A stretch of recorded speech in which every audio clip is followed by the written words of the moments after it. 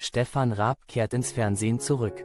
Für seinen Kampf gegen Regina Halmich soll er intensiv trainiert haben, mit eigenem Boxcamp und professioneller Unterstützung. Stefan Raab kehrt nach langer Pause ins Fernsehen zurück und tritt am kommenden Samstag gegen die Ex-Box-Weltmeisterin Regina Halmich an.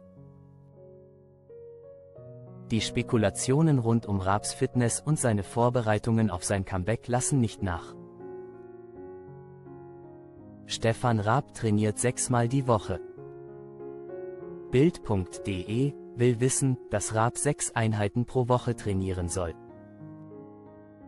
Viermal wöchentlich absolviere er zwei Trainingsdurchgänge täglich, diese sollen intensive Cardio-Übungen beinhalten.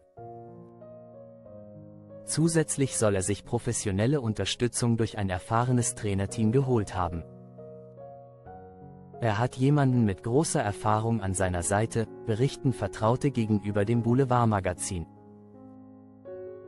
Das Gerücht, dass es sich hierbei um Profiboxer Felix Sturm, der Raab bereits 2007 auf einen Kampf vorbereitete, handeln könnte, hält sich standhaft. Dieser lobte damals seinen, überaus ehrgeizigen, Charakter und, starken Willen. Wird Raab von den Klitschko-Brüdern unterstützt? Ein Video auf Instagram zeigt Raab beim Training mit Fitness-Influencerin Pamela Reif.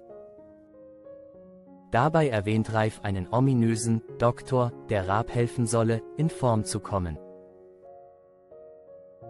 Verschiedene Medien spekulieren bislang, ob es sich dabei um Vitali Klitschko alias Dr. Eisenfaust oder Wladimir Klitschko alias Dr. Stahlhammer handele.